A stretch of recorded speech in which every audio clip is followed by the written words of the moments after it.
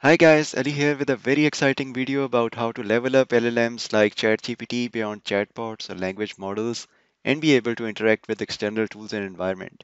When I say external tools and environment, the possibilities are endless and can include basic search to sending emails or even robotic actions. So stick with me as we learn about what is possible. The video is a bit long, so I would encourage you to use the chapter navigation by using links in the description or hovering over the progress bar with a disclaimer that it's a general audience video, so we won't step into programming realm. But I assure you that if you want to go there, you would have all the knowledge to hit the ground running. I may soon make some videos on programming going forward as well on this channel, but for now, let's continue with this video. So far, we have explored tons of ChatGPT features in our ChatGPT feature series and how to creatively use the tool using prompt engineering series, but we have used the tool primarily as a chatbot and relied on either pre-training or custom training that we did ourselves to unlock some features. Although this unlocks a world of possibilities, the tool is changed, constrained, or whatever is the best word to describe it, to use its current knowledge and respond to you with text. Now, up until recently, there used to be a cutoff date for training the model, so if you ask it some question regarding an event that occurred past that date, it would simply be unable to answer. Similarly, the tool has been trained on public internet, which makes up its knowledge base. But what if you need to find some details not present on public internet, but on your internal network? Like whether there's a non-smoking room available on such and such dates at a particular hotel? It is again unable to service your query. And finally, what if you want to take some action on your behalf? Like, say, book the hotel room on given dates. It's utterly useless in current form as it is unable to interact with any external entity. It can only suggest what you need to do to book the room yourself. So suffocating, and what a waste of potential, right? Hollywood has long normalized us to the idea of AI being able to act, so most of you watching this video, this won't be a novel concept. However, in practical life, this approach is full of potholes. When we come to envision the idea of AI acting, our first instinct is to visualize an evil robot trying to pull out a gun and trying shooting the hero, or out of fantasy world, a robot trying to clean a room. But before going that far, let's quickly evaluate the most primitive form of action, that is trying to find information the model does not possess. Now just pause this video for a second and think. If I ask you a question which you don't know the answer to, but you're obligated to give me a good answer, what would you do? Say your boss sent you an email to ask if any train leaves to nearby city early morning so he can be there in time to see a popular tourist attraction. Your options are either to just reply with, no, I don't know, and click send. But if you are a sane, reasonable member of his team and respect him as your boss, you probably won't do so. Now, this situation is not so different for you, the employee, and a chatbot like ChatGPT trying to respond to your prompt. Both of you don't know the answer. Now, what do you do? And how? And most importantly, what would be a process you would follow to give a more informative reply than a simple, sorry, no idea? Please pause and think, then resume. Well, since you are a smart person, I'm sure you would try to find the train schedule online. That was easy. You would Google to find the train operator website, pull out the schedule, find the train, and then going one step further, you would check if there are seats available on that train. Easy, right? But would it be that easy for your grandfather who never learned to use the internet? Probably not. Unfortunately, same is true for the large language models, which have never been trained to use the internet, but they know how to use it you would argue, and you would be right. But being able to walk up to the computer, opening browser and starting to Google is much easier for you than it is for a machine learning model, right? But that can change with your help. You can train the model to ask for your help whenever it needs some information. You query the information online, pump the answer back to the model, and Bob's your uncle. The example we took was really simple and you could do it yourself. But if it was a bit complex, where you could leverage models' built-in knowledge, like say the question from boss was, I want to reach city X to see tourist attraction Y.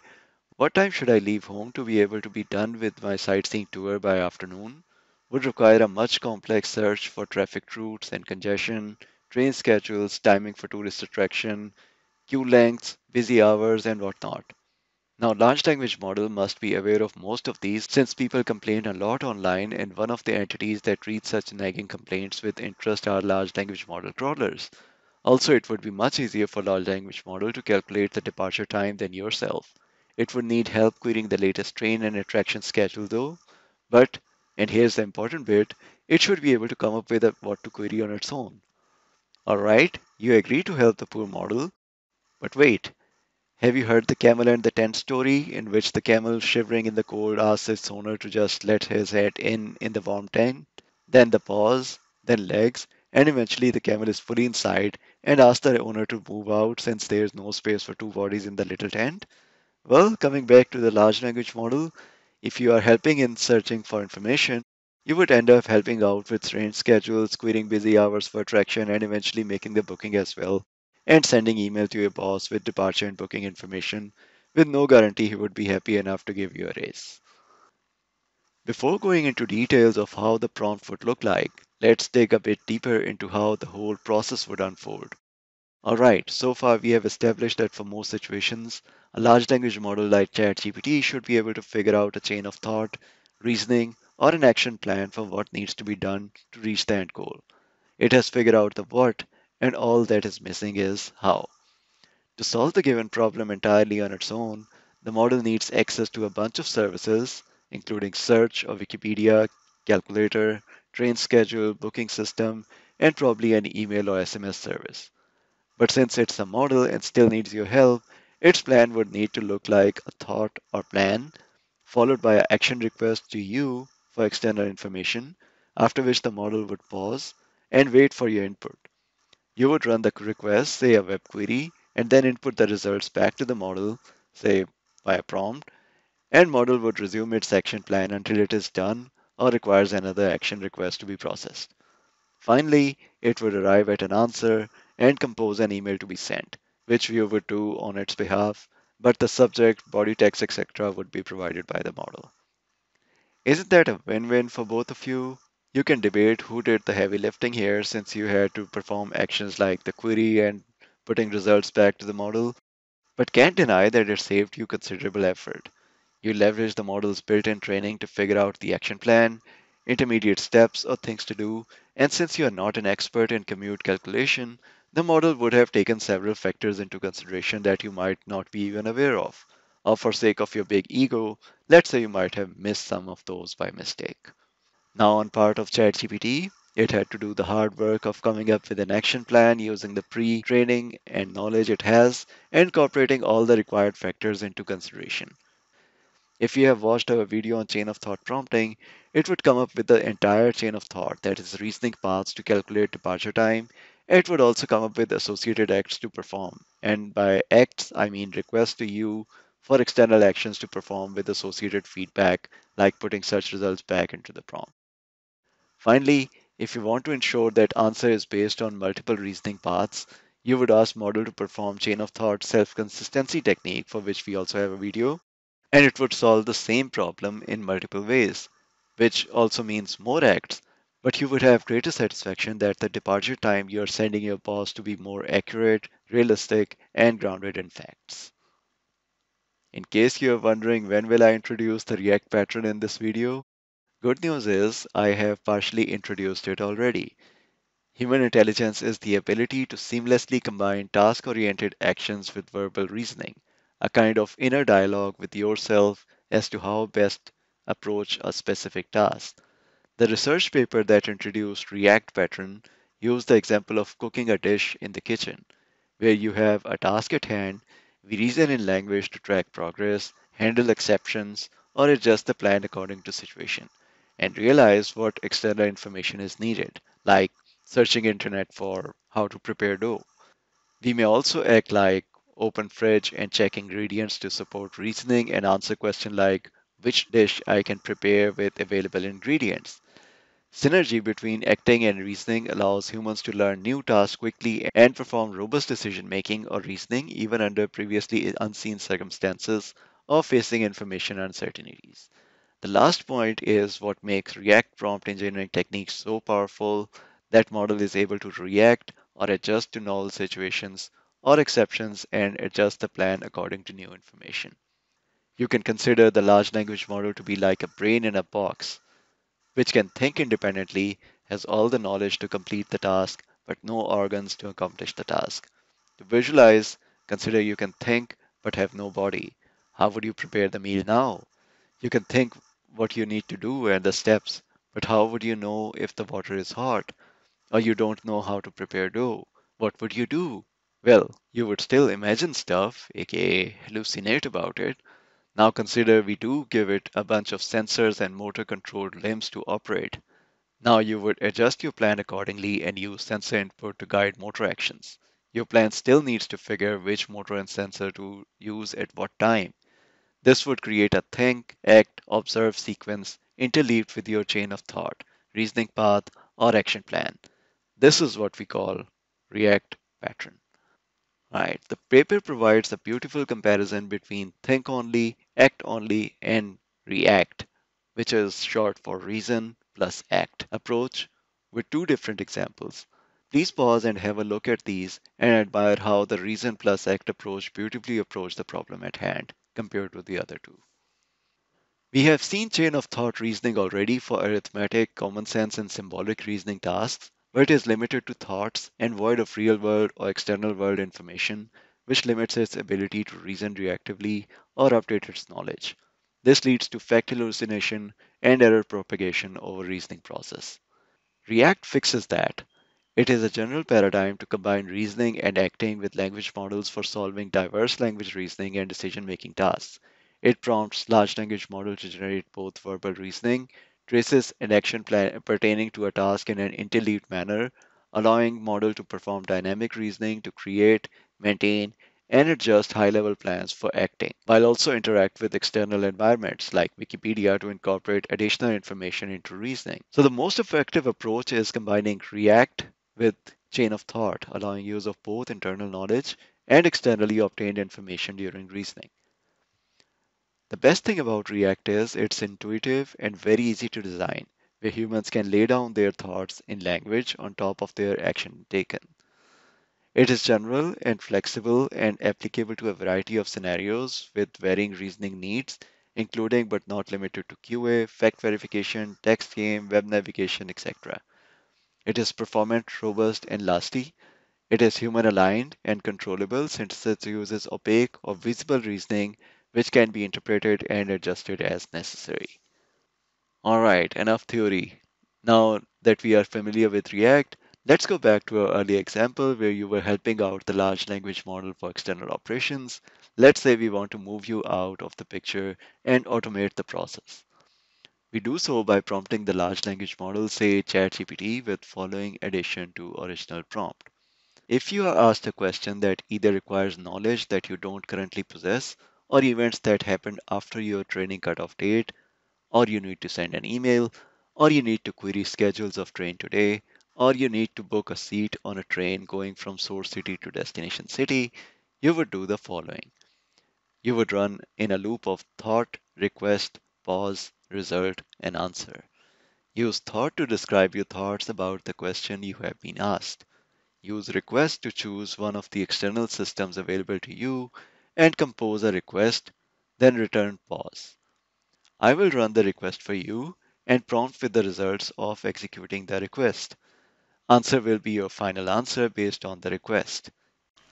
Your available external systems are schedule, for example, schedule source to destination, returns a list of trains going from source city to destination city today, Wikipedia, for example, Wikipedia for GPT, returns a summary for searching Wikipedia.